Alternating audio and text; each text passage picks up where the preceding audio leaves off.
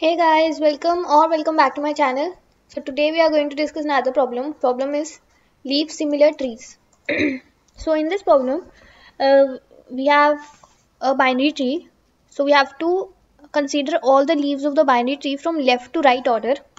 So all the leaf nodes from left to right, the value of those leaves forms a leaf value sequence. So we have to take all the leaf node values that will be leaf uh, value sequence. So for two binary trees are considered leaf similar if their leaf value sequence is same. So return true if and only if two given trees with head nodes root 1 and root 2 are leaf similar. So for example this these two trees are given to us. This is one tree, this is second tree. Both are binary trees. So we have to find out the leaf sequence of this first tree. So leaf sequence will be all the leaf nodes from left to right. So left 6, 7, 4, 9, 8. This is the order for this first tree. And for the second tree also if you will see the leaf sequence, leaf value sequence is same. 6, 7, 4, same, same as this 6, 7, 4, 9, 8. Hence these two are leaf similar. These two binary trees are leaf similar because their leaf value sequence is same. Okay. So it's very easy problem. Basically we need, just need to find out, we have to find out the leaf value sequence. Leaf value sequence of this tree. This tree. And then second we have to find the leaf value sequence of this second tree. And we just need to check whether this, let's say this is sequence 1 sequence 1 and this is sequence 2. So we just need to check whether they are equal or not. If they both are equal, so we'll have to return true. Otherwise, we'll have to return false. Okay.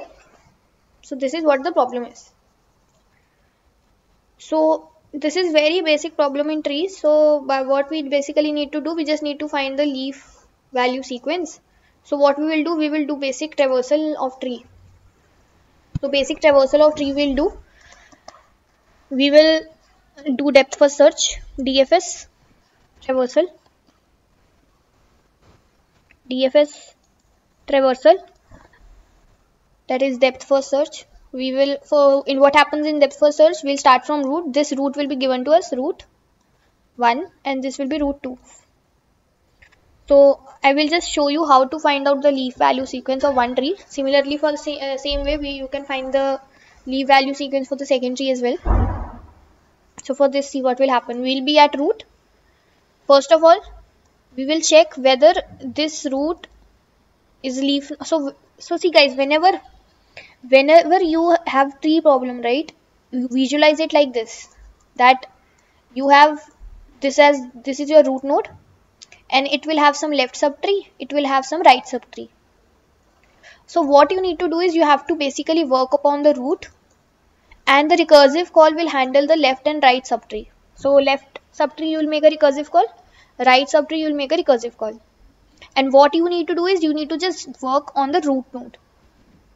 So here what our aim is, what is your aim?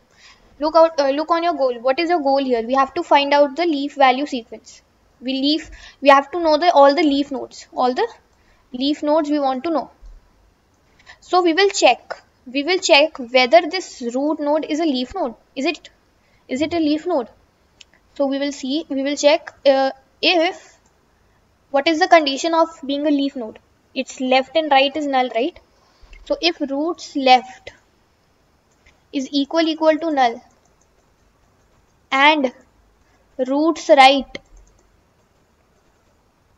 is equal equal to null. So if this condition is true, then it means it's a leaf node. So if it's a leaf node, let's say we are having a string in which we are storing the sequence. This is a string in which we are storing the sequence. So we will add this current root value to this string because this is one of the leaf node. Okay. This is what we'll do. So this is our task this is the work we will do and for the left subtree we will make a recursive call on the left that is roots left and for the right subtree we'll also make call to roots right. So this is how we will approach this problem. And secondly uh, base case obviously in trees cases what are base case? If root is null just return. Return empty string. Why empty string? Because see guys it might happen that there is nothing in the like there is nothing in the tree. So if there is nothing in the tree obviously there will be no leaf value sequence because there is no node in the tree only so in that case leaf value sequence will be what empty string okay so let's see how it works so DFS works like this. Okay. So what will happen?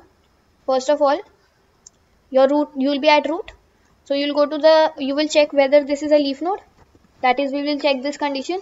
No, this is not, not a leaf node. So we will go what? You will go to the left. So you will go to the left. That is your root will now become this. So you will check whether this is leaf node. No. So you will again go to the left. Now this will become root. Now you will check whether this is leaf node. Its left is null and its right is also null. Hence this is a leaf node. So we will have a string in which we will add this value 6. Okay. Then it will go back and this we have already done. So the next step is to go to the right. So we will go to the right. We will check for this 2. Whether this 2 is leaf node? No. So go to the left, left call. Whether then we'll check for this root will become 7. We will check whether 7 is leaf node. Yes, 7 is leaf node. So we'll add 7 in the string. You can separate them using a star also if you want to. Let's separate only because it might happen. Na? There is need to separate. Why? Because uh, like let's say here there is uh, not 7 like it's 61 something like this so it's better to separate these two numbers then we go back we all we have already checked for 2 we'll go to the right of 2 now this right call and 4 we will check whether it's leaf node or not it's not it's leaf node so we will add it in the this string.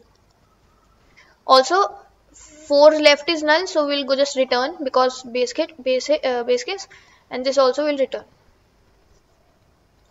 Okay. So in this base case just simply don't return any empty string just simply return. Then go back. Now 3 is left. You have already processed. Now you go to 3 is right. So 1 becomes the root node root now. Now so 1 is not a leaf node so go to left of 1 9 is a leaf node add it in the string. Left and right null null. So base case hit it will come back to 9 then it will return to 1 back. We have already checked for 1 now we go to the right right call.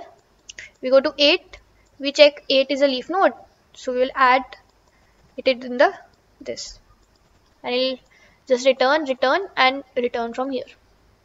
So this is my leaf value sequence similarly you will call for the second node same dfs you will call for the second tree uh, uh, second tree also.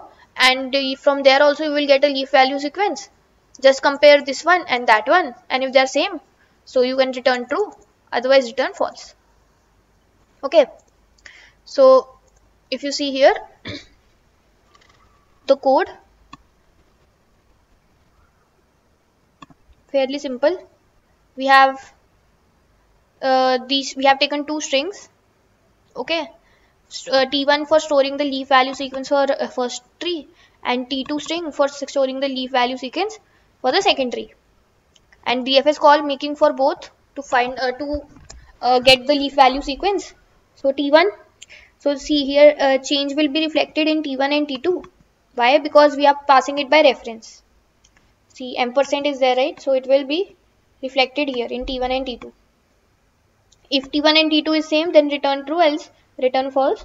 So now this DFS function. This is the base case. If root is null, just simply return. If it's a leaf node, we will add the current root value in the string, which is this one, and we will just simply also add a uh, dif like uh, differentiator that okay this is one value and this is another value and then we'll call the left subtree and right subtree. Simple, simple DFS. Okay. So I hope this was uh, this was clear and uh, time complexities we are doing single like basically we are doing one traversal of tree for this one and one traversal of the tree so like you can say it's O of n1 plus n2 O of n1 plus n2 where n1 is the nodes in the first tree first tree. Tree. And uh, n2 is the nodes in second tree. Space complexity is also uh, will be storing like basically we'll be storing the leaf nodes. So it will be let's say O L1 plus L2 where L1 is the leaf nodes in first tree and L2 is the leaf nodes in second tree. So I hope this problem was clear. If you found the video helpful, please like it, subscribe to my channel and I'll see you in the next video. Thank you.